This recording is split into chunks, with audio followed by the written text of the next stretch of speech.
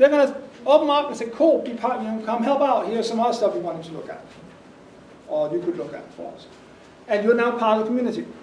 It's that simple. You don't have to write a secret letter to a secret person somewhere that, that you know, where you have to have the secret handshake and all that stuff to work. But you can. No, you can, yes. You will get to that point eventually, but yeah, it doesn't have to be that way. You also don't need to be a coder to do that. No, that's what I mean. So if you can say, well, I can translate the documentation, or by the way, I noticed your documentation is two years out of date. I, I made some changes based on the latest version. They're going to love you. They may going to say, we don't know where to put it yet, but we will help you figure that one out too.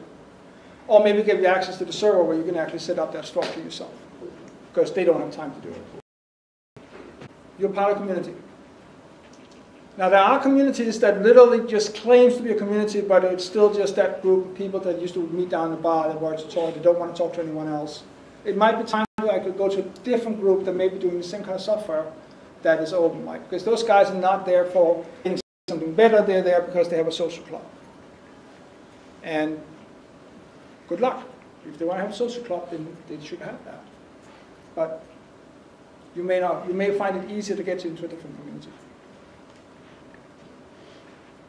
So that's it for me. We have Andrew coming up, talking a little bit more about, or I think you said about 30 minutes, 20 minutes? Yeah, short. Um, about Zabbix? Yes? I don't know if you covered this, but, open- I mean, I learned a lot, so thank you, phenomenal presentation. What is the security side of open source? Like, so if everyone can see the code, can't hackers, if I know someone who's purchased or is using open source, can I go into their systems and do what I want with it, since I can read it and have access to code? Like, how do you secure against that? Sure. Uh, So I don't know how much you know about how, for instance, security like encryption works. Just because I know what the protocol is, doesn't mean I know the keys.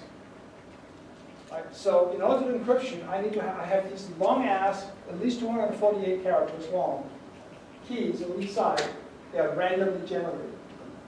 And they have to match. So even though I know how that key is constructed, meaning the structure of it, doesn't mean anything in order for me to actually read the message. So we have public, known, even by the NSA, encryption keys out there. There's all programs that says, here's how you to take text and make it scramble. But the only thing that's in there is how the code works, not what data it uses to do its job. And that data is different every time you run it. Well, so also to that, there's a difference between the code that runs the program and the data behind the program itself. So, um, There's a major separation in that one.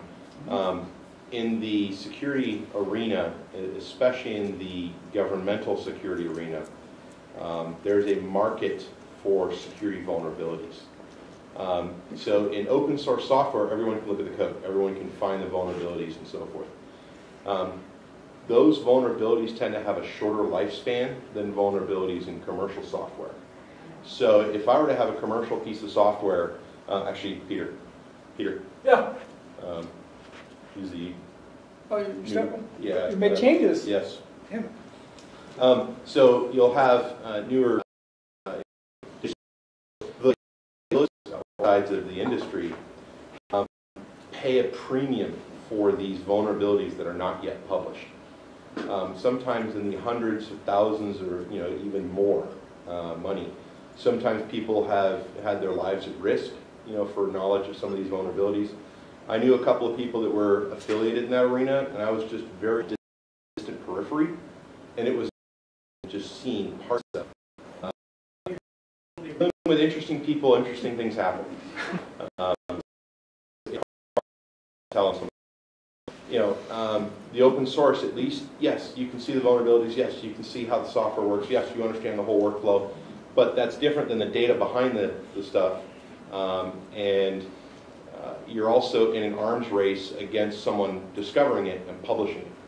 And in commercial software, it's a lot longer of a life cycle between discovery and publish, you know, between you know, groups looking to make money off of those vulnerabilities to groups wishing to have those vulnerabilities fixed. I I know people that will find a vulnerability and they'll sell it to a company that will notify everybody because they just don't want to deal with the hassle. Mm-hmm. And then those companies provide a service to customers that maybe make the software or use the software.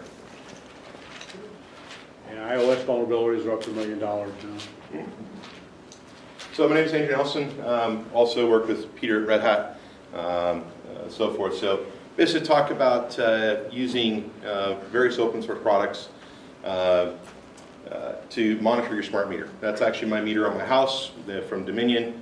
Um, it's uh, broadcasting at a very regular rate how much electricity I'm using. Most customers probably have that on their house as well. Uh, and it's actually quite interesting. So I was using uh, Fedora on a Raspberry Pi, using RTL, RTL AMR pack software package to pull the data and then sending up into my Zabbix box. Um, so I've been with Red Hat eight plus years. Um, been involved in the Zabbix community for uh, longer than my time at Red Hat. Uh, been a regular speaker at the Zabbix conference. Wrote a couple of libraries uh, related to it and so forth. Um, sometimes in my, when I have time, uh, make a little sawdust in my, my uh, garage, you know, doing part-time woodworking and stuff. Uh, not really a good work woodworker, more of a sawdust maker.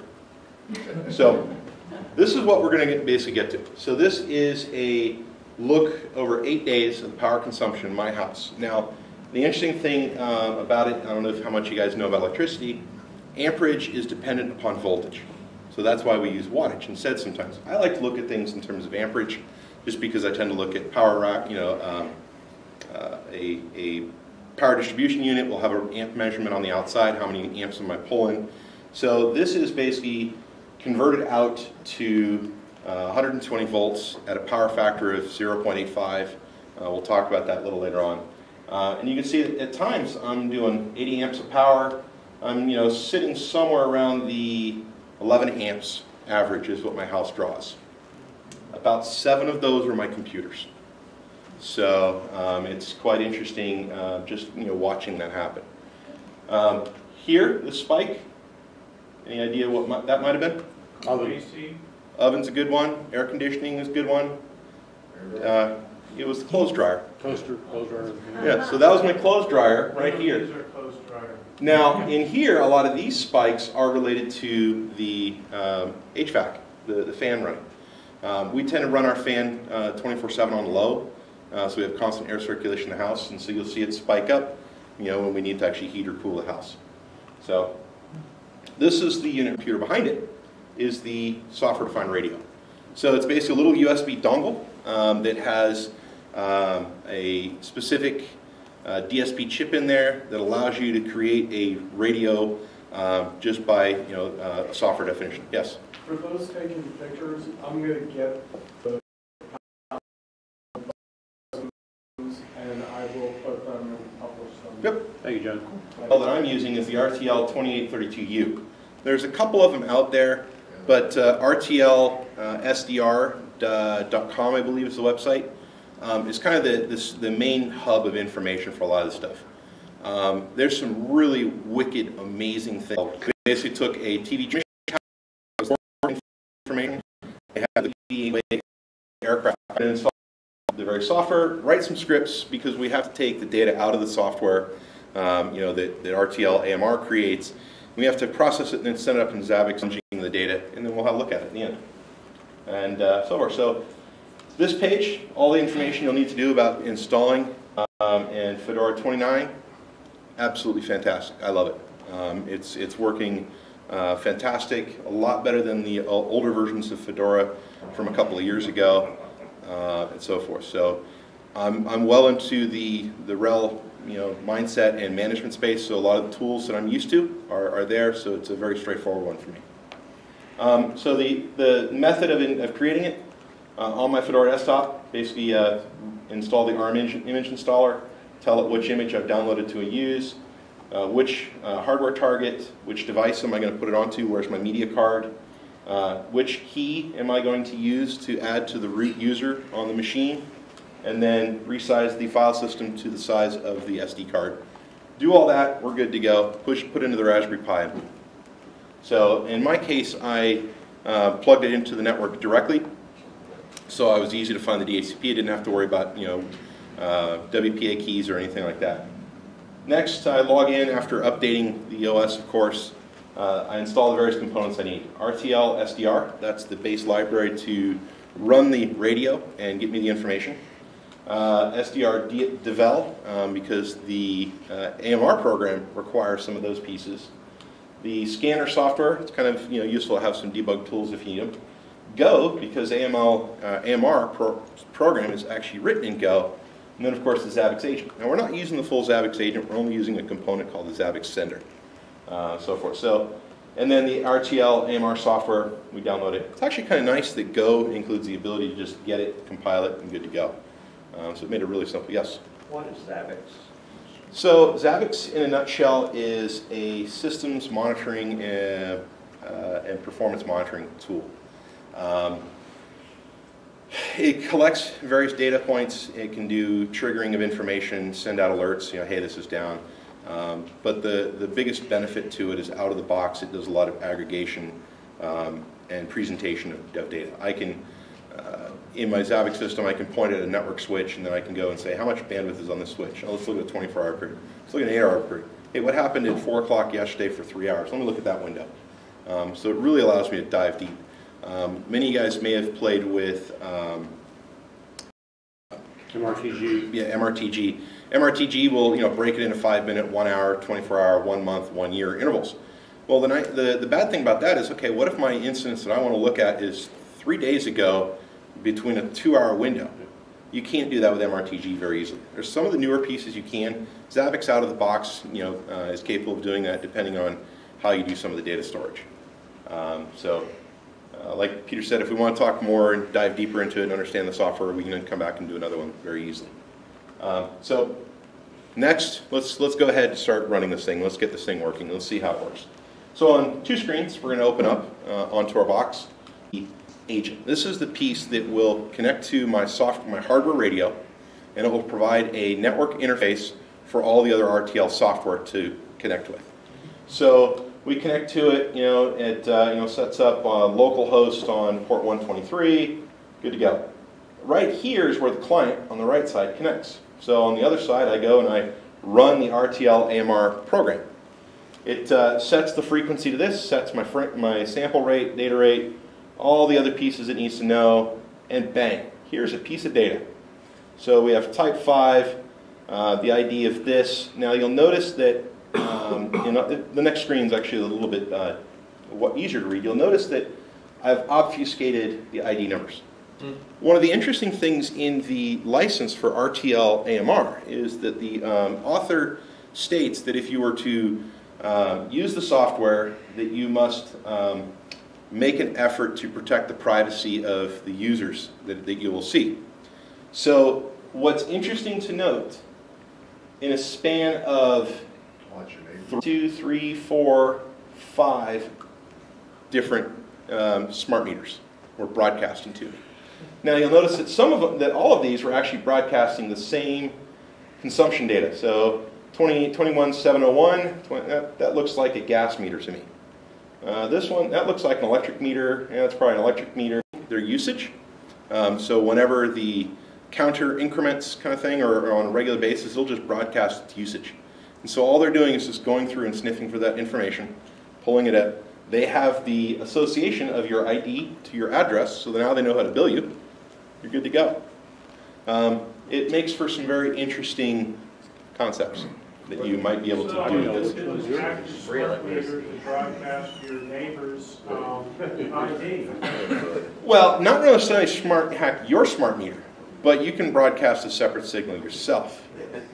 Um, but I think that's where the CRC actually comes into play here. So the CRC is probably something to do with the serial number of the device and a few other things. So it can provide a first layer of redundancy to ensure that you know it's not necessarily tampered. But i- i- if you guys know much about CRC, it's not foolproof, uh, but it's a lot better than nothing. So Uh, 16-bit CRT is pretty trivial. Yep. So the, uh, the next one, so now we've got to create a couple of service files. Um, you know, the biggest one is how are we going to run the RTL TCP you know, um, component that we needed to run. So we have to create a service file um, because you know this is systemd we're running on Fedora. So very straightforward actually. Um, we're going to make sure it always starts after the network target. Um, we're going to start the RTL TCP program with a statement. Now, I put this in here so that it basically starts on the public interface uh, is publicly accessible on the Pi. So if I don't have anything else connected to this uh, endpoint, I can connect from my desktop using the scanner software for RTL SDR, and I can now use it as a scanner from my Raspberry Pi. So it's pretty cool. Um, you know, we're going to restart this service always. We're, you know, what our time intervals that we're going to have for error rates and so forth, um, and so forth. So now uh, we need to also create another script uh, that will take the data from the RTL AMR program uh, that we saw earlier and actually use that out there and, kind of pull it in. So you know, we declare an array essentially, we, you know, this is all in bash, we, you know, create an array of various components uh, that we're looking for. Um, I'll explain this here in a second, you know, then we run it into, into there and then we send it out. So uh, I don't know how much you guys have done in, in bash scripting, but the associative arrays were actually pretty, pretty awesome in that respect. So we're going to take RTL, we're going to tell it to filter only for my two meters that I've got. We're going to format the data in JSON. We're going to only get unique values. So if it's repeating itself, we're not going to see this. And then we're going to pipe it out into you know, uh, you know the, a while loop. So we're going to read one line at a time. That's JSON coming out. And we're going to type it, pipe it into JQ, which is the command line JSON processor. We're going to pull out the message.id and the message.consumption information. Uh, we're now going to um, using this out array because we're creating two array elements from it. So the, the first element of our array is our message ID, which is our you know, ID that we've got here, and the amount of consumption. So our component that we're going to do, where we're looking at the, the first array, so the message ID will actually result in one of these two. Um, the gas, the power consumption and gas consumption is something needed for Zabbix later. That's called the key inside of Zabbix. Um, so we basically pull it out there, very straightforward and then we push it over to Zabbix as we get the data. So this is an interesting one. So if I'm getting updates multiple times a minute, I'm going to get it every time I get an update. So that's a very important detail for later. Um, now we create our service file to run this script uh, on startup. So we want to make sure we start after the RTL uh, TCP service. Uh, here's our script where we put it, um, and we're, we're good to go. So once again, we so we place all the script, all the files into the etc system D system directory. Uh, we place our script where it needs to be. Uh, we tell system control systemd to reload the daemons, uh, and then we tell it to enable, and we reboot the machine. And upon reboot, it'll start pushing stuff up. However, we, we still have one last piece. We've got to put this all into Zabbix. So we have to create a host which Zabbix will associate with. Um, then that host has items associated with that, and the items are what we then graph. So, um, and then there's a couple of follow-on pieces. So the first one, we create our host. We're going to call this PyMeter. I don't care necessarily about the what it is. Um, if we go back to here, we'll notice that we uh, our Zabbix host is called PyMeter, and we tell it what the host is. So when it connects to Zabbix, it says, "Hey, I have data for PyMeter."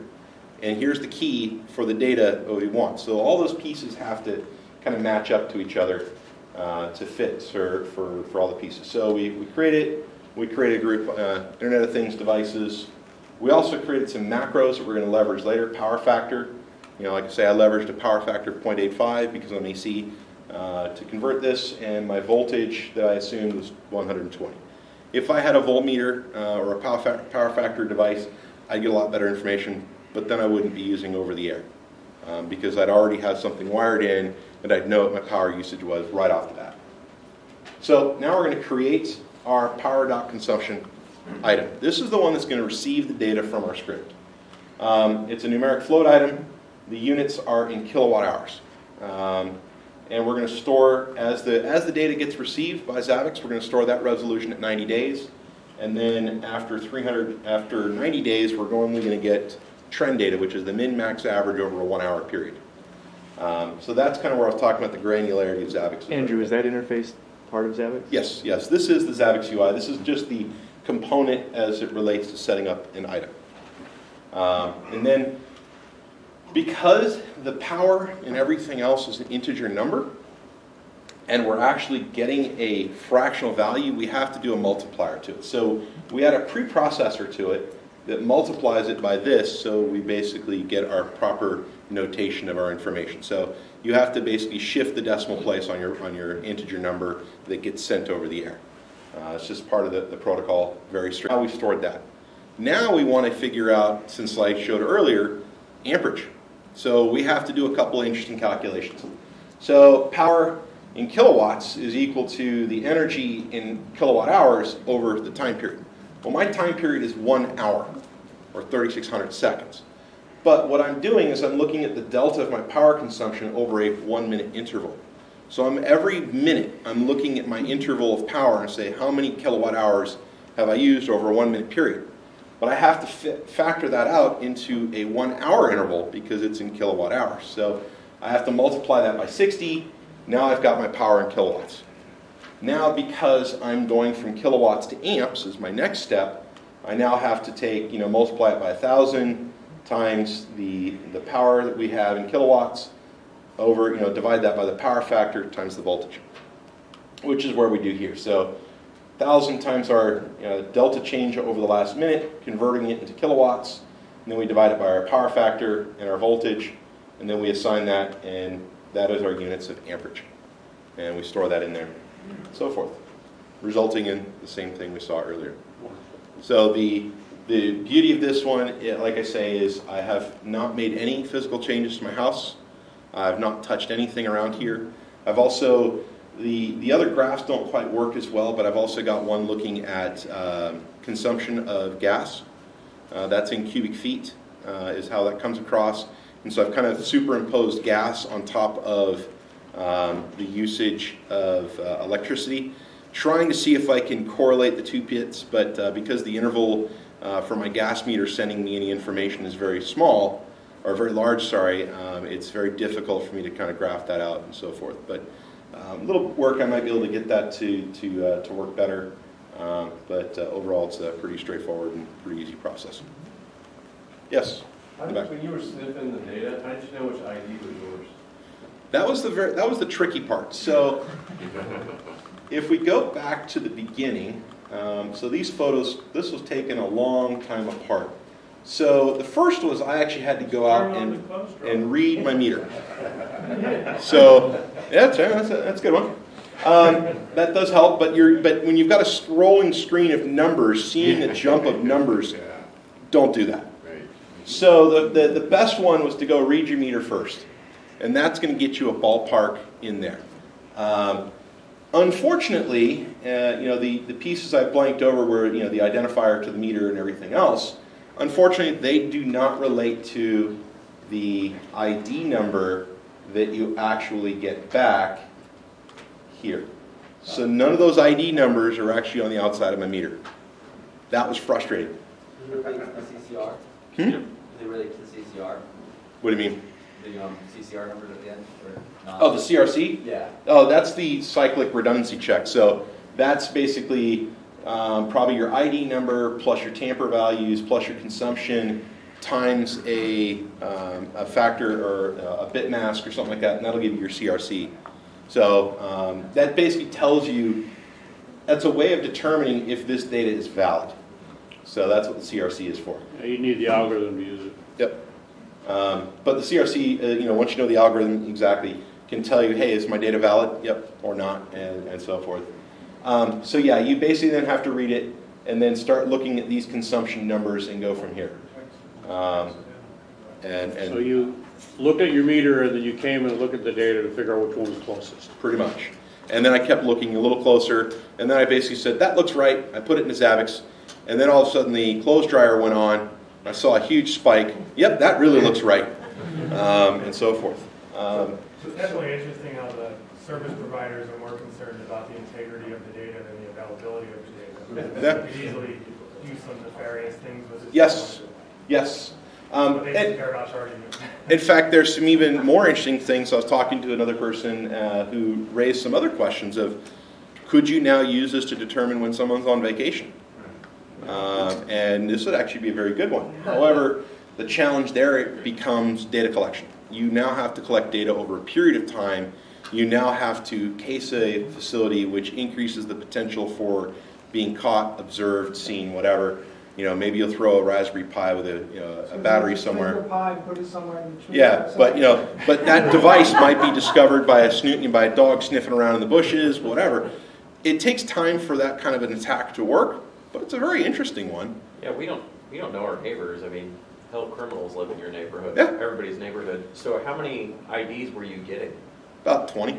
Yeah, see, that's, that's enough for a criminal to sit in his house and find out when you're on Yeah. vacation. So, so what's your gut as far as distance that that was? About 50 feet.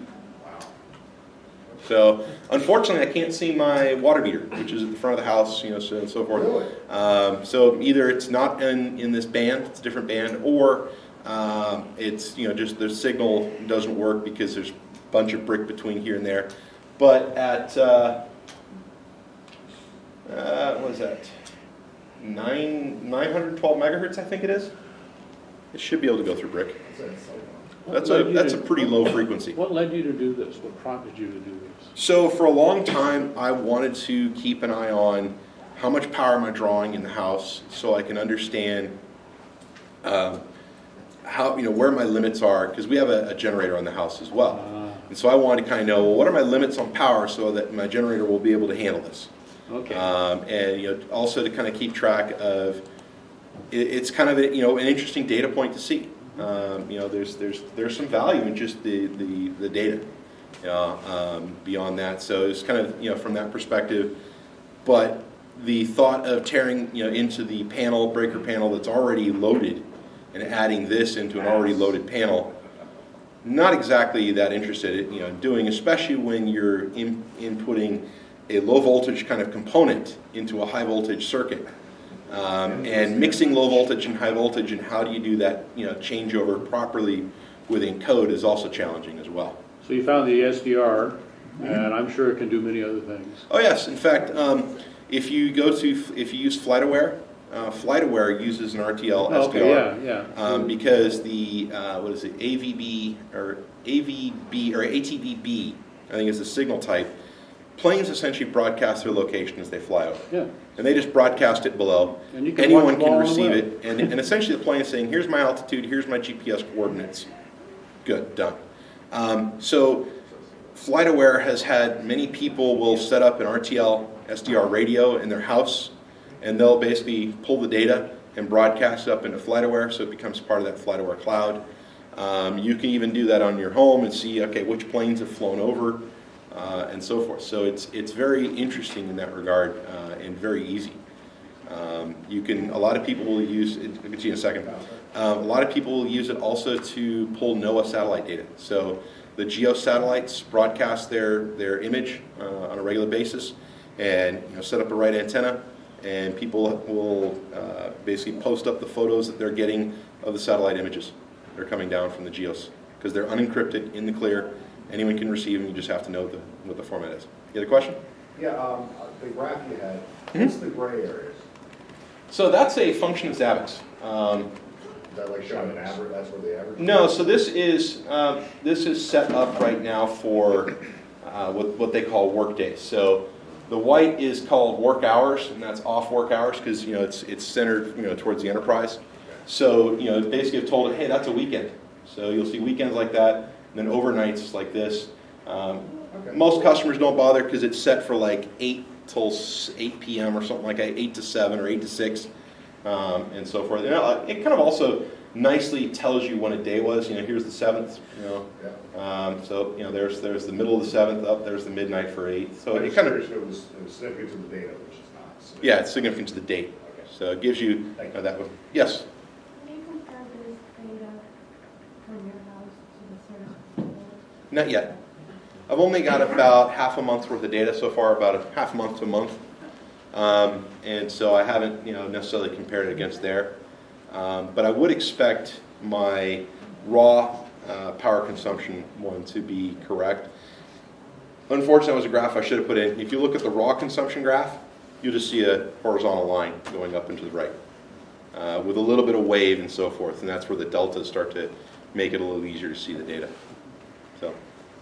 So, any questions? Wonderful, thank you. nice. Thank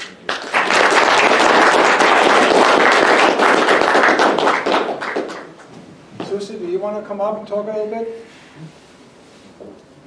She's talking. Susie? She's working. She's working, uh, Yeah, you got a question? yeah. Sir?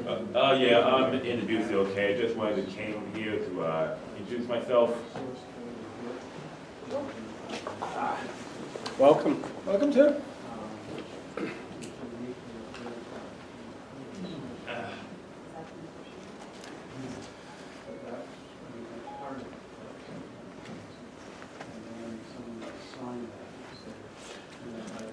Well, my name is Introduce okay. I've been in the IT learning system administration, uh, field for past, uh, eight years, along with, uh, three years, actually three and a half years of being, uh, quality control and insurance, uh, pers- personnel and IT asset manager, I mean, IT asset, uh, manager for, uh, uh, for the uh, federal government, actually as a contractor, a federal contractor, Noisy Walford Inc. I have eight years of IT experience. I, I, eight years of IT experience, and I did run my uh, archive box over there, which runs on Ubuntu. Well, that, that's it. Welcome to. Welcome. Welcome. Here, have a, have a red hat. So Susie, do you want to come up and talk a little bit about what you're looking for right now, what kind of jobs and, and all that stuff is going on? Uh, me? Anyone, for anyone, Susie. Well, I'm actually looking for a job right Well, that's now. what Susie's here for. She's a Yeah. recruiter. Susie's a recruiter. I see. Come on up. Okay, thanks. Little surprise You you don't have a presentation, huh? No, I, didn't- no, no, I I wish I did, but I'm, ha- I'm happy to answer any questions. Um, uh, SG2 Recruiting is uh, an agency that has been supporting Red Hat. Yeah, all the food and coffee is due to Susie. So remember to thank her very much. It's always great to start on Saturday instead of sleeping in and getting some food. Um, so, uh, in addition to Red Hat's public sector team, I also support a couple of other uh, regional and national organizations that are hiring in the skill sets and the similar skill sets, systems engineers, automation engineers, and middleware engineers. So it's the whole gamut of skill sets. So I, I come to these events not only so I can learn a little bit more about the industry and the candidates that I'm going to be talking to. Again, I always heard the term open source, but I actually I was wrong in how I thought about it until today, so thanks, Peter. Um, so uh, these meetups allow me to have a little bit of an understanding. So uh, in, in terms of new technology, um, in terms of how they're applied, um, and trends that, that, uh, in terms of how they're being used. So uh, in terms of from a recruiting perspective, uh, it's, it's twofold. Um, I actually get a chance to understand how you how you're using the tools um, and learn a little bit more about um, uh, what it is that you may be looking for if you approach me at the end. You know, at the end, I'm happy to also review resumes, uh, give guidance in terms of job seekers and, and job seeking activities. It's not just uh, a one-way street. From most recruiters will say the same things. Our goal is always not only to sort of again recruit because that's our job, but also to give back to help you in any way that you can, even if I don't have a current opportunity for you that aligns with your skill sets. Perhaps I have a, um, a colleague or a network of colleagues that can take advantage of your skill sets somewhere else. So it's not just me, you know, hoping to take advantage of the situation, but in some way giving back as well. So when a candidate comes to you for one of these jobs, what are you looking for? One of the things that to you candidate? Uh, well, okay, so I, from the, from this particular event, most of the people that I'm looking for here are people who are command line gurus. Um, and, uh, you know, this is, you know, some of the, what I learned from Andrew, I'm I'm not even hundred percent sure what the command line means, but I know there's a script somewhere that you put into it and it makes the machine go. So, uh, Right. So, um, so I know the difference between people who can develop using the UI, which is not a skill set that I desire, but the people who are actually scripting from scratch. That is the differentiator. So I've learned enough from my hiring managers um, and from coming to these events, what differentiates a good um, administrator from a, or systems engineer from a great one. So I, I'm learning to ask the questions that go maybe just a little bit below the, hey, do you work on the command line? They're like, yeah, I'm on the command line all the time. I'm like, okay, what have you done? And if they say, uh, what languages have you used? Or like, there is no language I don't develop. So I'm like, it helps me differentiate. So what I'm looking for from this audience are the command line gurus who really know in almost any language, from PowerShell, which I'm, again, licensed product, PowerShell, Bash, Shell, um, Python. So What that- Ansible? Well, Ansible is, um, it's, it, that's a tool, an automation tool. So, right, I know there's a tower. It's a new tower. Uh, so it does the tool for you. So it's like, uh, it's Red Hat's version of an automation tool, but I'm not sure what it's developed in, what language it's developed in. Is it Python? Basically, Python, yeah, okay, Python, so- it's its basically It does the tool for, so It's a- instead of creating from scratch, I'm using a tool to do Yeah, the But it's for me. basically replacing Bash. But yes. It's So its a own script. language. Right. Yeah. It's the language. Okay, so, but that's, okay, so people who use the tools and they have to under, the understanding behind how those tools work, that would be a second layer question. So there are similar tools to Ansible that I would look for as well, but they're all written in languages and have them understanding what those languages are and how they use them would be an asset. What? Okay, Who what cares about- about Perl? Perl. I yeah. I'm I have never had clients ask me for Perl. Oh, really? That's bad. Yep. See, you come in learn something too Right. about the other people, right? Yeah. It's um, Python, uh, Python, um, Bash, Shell, PowerShell, in terms of the, on the line, besides Ansible products. What is the metric? So, Where is the I'll, I'll. I'll get to that in a minute. Any other questions? Oh, I wouldn't forget that one. so if, if you are in the market or you just think about looking for a job, get Susie's contact information. She can certainly guide you to say where do you want to look and where do you want to go based on where you are right now. She may have some questions about what you're doing and what you're looking for, but anyone that can sort of get you introduced, uh, speaking for myself, just coming to these meetings is how I got my current job. And, and her website is sg2recruiting.com. Right, right. And I'm happy to help, like I said, for those people who are look- thinking about or haven't looked for a a job in a while. There's so many tools out there. I know we, we talked about this Ridgeline and their recruiter when we were up here like not too long ago. Um, how you marry your paper resume to your online presence and how you improve the likelihood that you're found by recruiters um, through social media. So all of the, all of the, I'm sure all the tools I'm using now do a lot of what you're doing behind the scenes, which is aggregating all your social media activity and putting it in front of me, and how you improve your, uh, the likelihood of you being found using those social media tools, attending meetups, posting pictures from you being at a meetup, responding to a question, asking a question at a meetup. All of a sudden, all of your social media numbers go up, even without having to use any other activities. So I'm happy to help. Thank And, and if you do get in touch with her, be sure to mention that you met her here. Gotta give her a reason for coming. I'll definitely be back. I enjoy this. This has been a great group, by the way. It's been a great group. And did you want to? Um, I'm with Ridgeline. Um, you know, the Ridgeline International, the main reason why we got involved with NoVaLUG is because I happened to go to NoVaLUG and you guys said you wanted a space that supported more people. Um, and so our company uses a lot of open source technologies and they just wanted to give back to the community. So do you make cars? We appreciate it. Huh? Do you make cars? No, we do not make cars. It's, uh, I I, I mean, it's just a name to me. What is it? Ridgeline International, we're a boutique IT company. Okay. Um, we are, I think, what is it, the, the catchphrase is, is we're in the top 50 companies in the DC metro area as far as growth. Um, they'll say that they have around 200 employees. In actuality, you'll interact with probably about 30 employees in the office on a, on a daily basis. So it's a really small boutique company. We offer insane benefits. Um, an example is like, I get a clothing allowance. I've never had a company buy my clothes, and maybe I don't show that today. Um, But you but- fit in, so. But if if I want a new shirt, I can go buy a new shirt, and the company pays for it, and it, and it, and it's great. So, um, you know, we offer really unique things. So, the type of people that we're looking for are, you know, we're looking for developers, people that can write code. We have a whole group that we're really kicking off from the ground. We probably have about four or five developers, and we're looking for people that know Java, Python, JavaScript.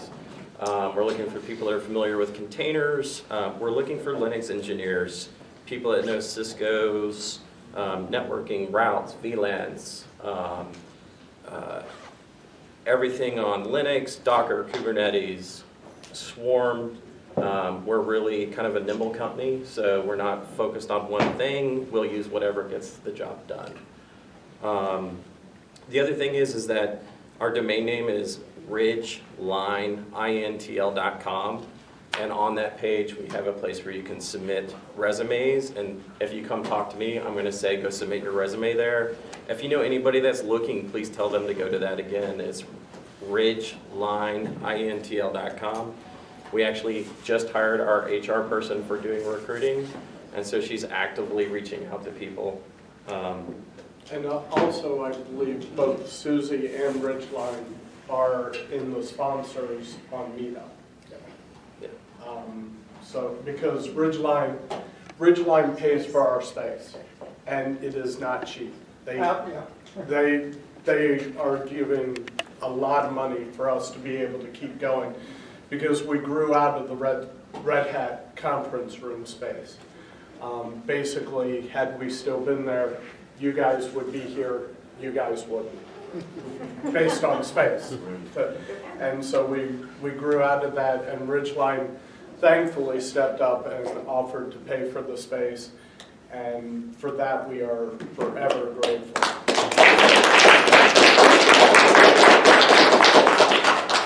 So, and as, as you alluded to, this is our last time in, in the Sheraton. We will be at the Northern Virginia Chamber of Commerce. Um, I'm gonna update the meetup page tonight, um, to give people plenty of opportunity, which we'll have a map and tell you where it is. It's still in the, it's in the Tyson's area. It's off of West Park Drive. And, and just so everybody's aware, I said this once before, you'll go to the parking garage, you'll grab a ticket, you're not paying for anything. You'll go into the office of the Chamber of Commerce, they have a card validator. You'll validate the card in the office. Parking is free for all the people that go to the event.